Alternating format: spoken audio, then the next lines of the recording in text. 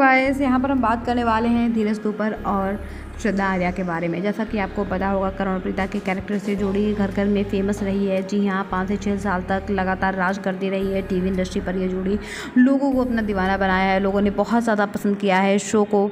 जहाँ पर कुंडली भागी शो में दोनों देखने को मिले और लोगों ने बहुत ज़्यादा पसंद किया है। यही वजह है कि इस जोड़ी की डिमांड बहुत ज़्यादा हाई है। वैसे तो देखा जाए जिस तरीके से शबीर आलू वालिया और क्षिति झा की जोड़ी को पसंद किया गया था। प्रज्ञा और अभी के कैरेक्टर में ठीक वैसे ही इस जोड़ी को भी बहुत ज़्यादा प्यार मिला है।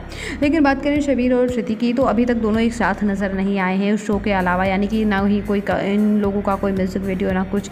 इस तरीके से किसी भी शो में नज़र नहीं आया। श्रद्धा श्रद्धा की बात करें और इसके अलावा धीरज की बात करें तो यानी करण और प्रीता आपको देखने को मिल चुके हैं। इनका back to back music video आपको देखने को मिले हैं, जो कि बहुत ज़्यादा पसंद किया गया है। जी हाँ यहाँ पर एक रोमांटिक कपल के तौर पर तो नज़र आ ही रहे थे, लेकिन इसके हट के अगर इन दोनों का जिस तरह से सॉन्ग्स रिलीज़ हुए हैं, लोगों ने बहुत ज़्यादा पसंद किया है। सो इस टाइम पर ये जोड़ी जो है, वो नज़र नहीं आ रही है। करण की रिप्लेसमेंट कई बार हो चुकी है। सो इस वजह से फैंस डिसपॉइंटेड हैं। इस जोड़ी को लोग देखना चाहते हैं तो यही वजह है कि डिमांड लगातार चल रही है।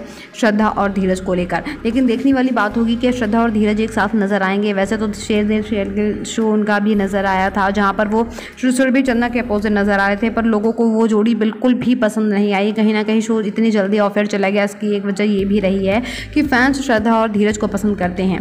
यही वजह है कि धीरज के अपोजिट किसी और एक्ट्रेस को देखना नहीं चाहते हैं। सो देखने वाली बात ये होगी कि किस तरीके से अब अदर प्रोजेक्ट में या न्यू प्रोजेक्ट में धीरज के अपोजिट श्रद्धा नज़र आ पाएँगी या नहीं।